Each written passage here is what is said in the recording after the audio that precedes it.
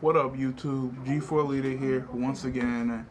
This is a quick promotional video me promoting the PS3 Slim that's due to release in the first week of September.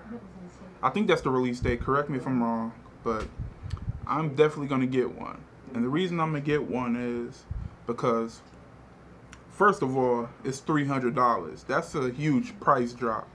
You get you paying $300 for 120 gigs worth of space, and that is completely amazing to me because before it was $350 and you was getting 40 gigs, which is hardly no space. You can't do much with 40 gigs. So with 120 gigs, that's a significant amount of space that I can use. So that's one of the reasons I'm getting it.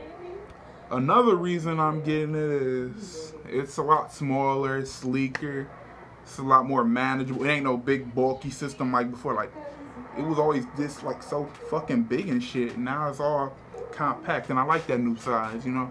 So I could take I could take it with me if I'm traveling some shit. So like I said, it's a lot more manageable.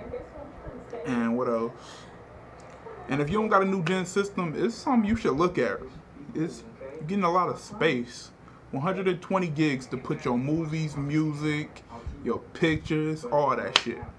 So like I said, if you don't have a new gen system, consider the PS3 Slim. I highly recommend it.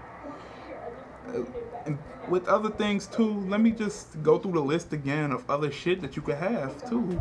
You could have fucking DVD player, Blu-ray player, browsers.